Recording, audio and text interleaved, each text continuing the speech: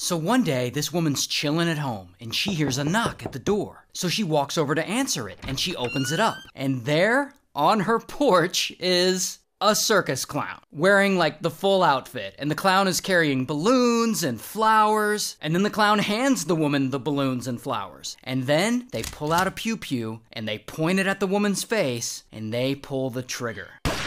So, why was this woman just unalived by a clown? Well, the story doesn't actually start there. The story starts with this other woman, Sheila. And Sheila's 27, she works at a used car dealership, and she's the one who repossesses the cars. Because she's apparently a tough lady, and she's good at her job. In fact, she's so good at her job, at some point, she catches the eye of the owner. This guy, Mike. And Mike and Sheila, they hit it off and they start flirting at work, and eventually they start smashing.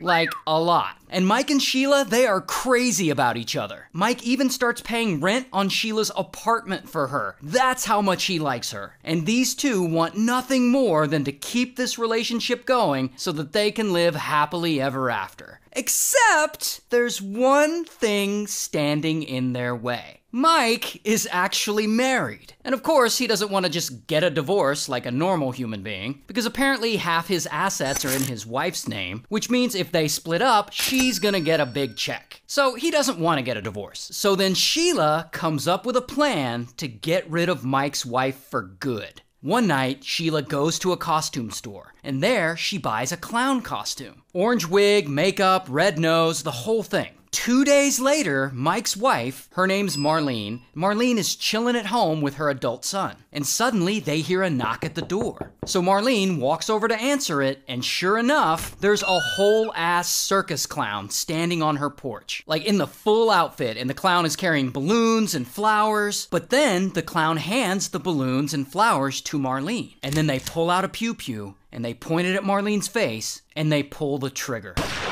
Then the clown calmly walks back to their car and they drive away.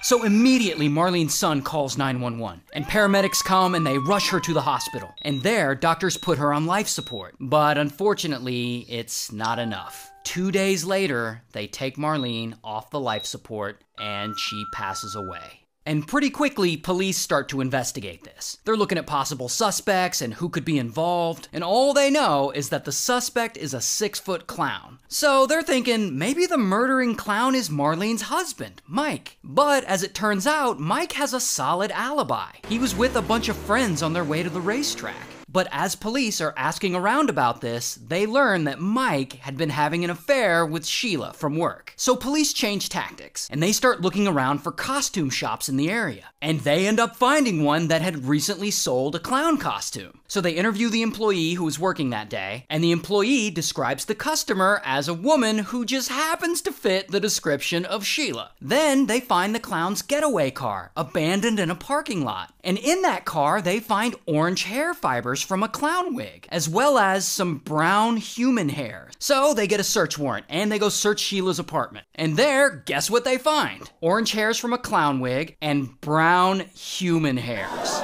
But unfortunately, the hairs alone aren't enough to make a connection. So they can't arrest Sheila and they can't charge her with anything involving the murder. Here's what's crazy though. During this investigation, police look into Mike because, of course, he's the husband. And while they don't find any evidence that he's involved in Marlene's death, do find evidence that he's been committing serious fraud at his used car dealership, rolling back odometers, manipulating the titles of vehicles, stuff like that. So Mike is arrested for this and he's convicted and he goes to prison. While Sheila, the person who actually committed the murder, doesn't. She's free. Three years later, Mike gets out. He served his time. And he and Sheila, they end up getting married. And they finally live happily ever after like they always wanted.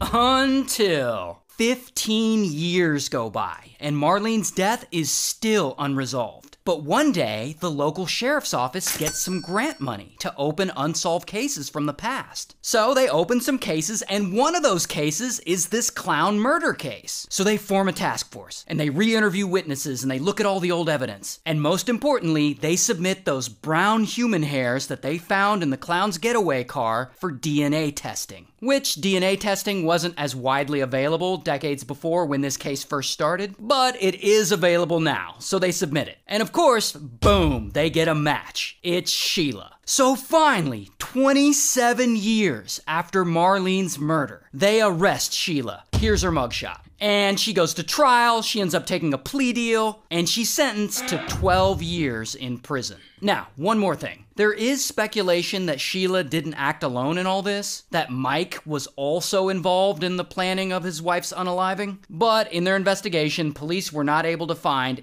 any hard evidence of that. So he was never charged nor convicted. Shout out to Florida.